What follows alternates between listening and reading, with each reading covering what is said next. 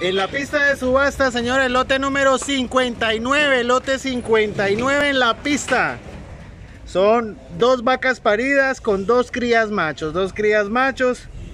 Estas vacas y este lote pesó en general 1320 kilos, promedió a 660. Llegó de Puerto Boyacá, Puerto Boyacá la procedencia y la base por el lote es de 2.500.000 pesos 2.500.000 es el lote número 59 fue pesado a las 12 y 30 del mediodía. 12 y 30 del mediodía fue pesado es el lote 59 recuerden el peso 1320 kilos. El promedio 660 son las dos crías son machos